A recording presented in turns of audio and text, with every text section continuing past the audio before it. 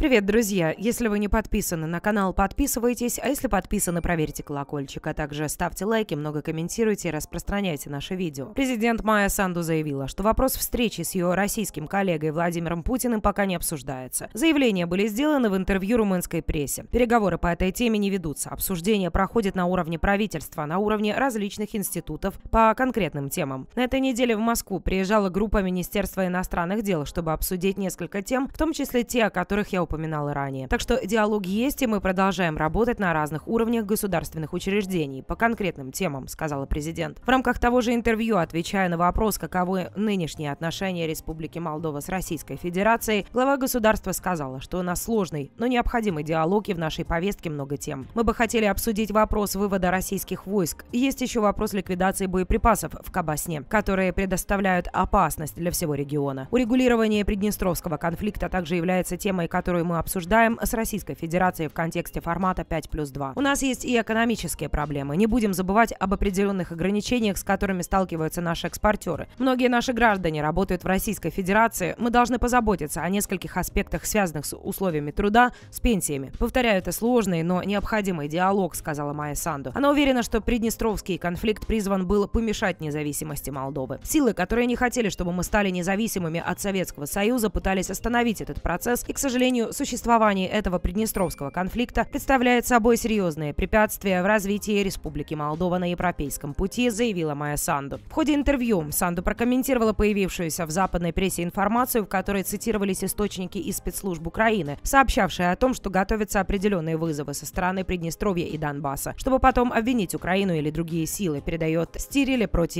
Наши учреждения следят за ситуацией, в том числе в Приднестровском регионе, и на данный момент у нас нет информации, свидетельствующей свидетельствующие о том, что там происходит что-то, чего не происходило в последнее время. Так что в проведении российских сил в Приднестровском регионе нет ничего отличного от того, что мы наблюдаем все эти годы, отметила Санду. Мы очень серьезно следим за ситуацией там, и на данный момент никаких опасений нет. Однако они существуют и порождаются присутствием армии. Сейчас ничего не наблюдается, но это не значит, что ничего не может измениться. Поэтому мы сохраняем бдительность, добавила Санду. Обсуждая ситуацию в регионе, Майя Санду выразила надежду, что до военных действий дело не дойдет. Она также ответила на вопрос о возможной интеграции Молдовы в НАТО. Республика Молдова – нейтральная страна, но это не значит, что мы должны изолироваться. Это суверенное право народа решать, как обеспечить свою безопасность, отметила Санду. В то же время, с 2006 года у нас есть программа сотрудничества с НАТО, и недавно эта программа была обновлена, что помогает нам модернизировать сектор безопасности. У нас есть программы поддержки с Румынией, США, странами ЕС. У нас и дальше будут программы поддержки для укрепления нашей системы обороны, добавила Майя Санду. На этом я с вами прощаюсь. Подписывайтесь Подписывайтесь на наш канал, жмите на колокольчик, а также не забудьте написать свое мнение в комментариях. Теперь газета всегда с вами. До встречи.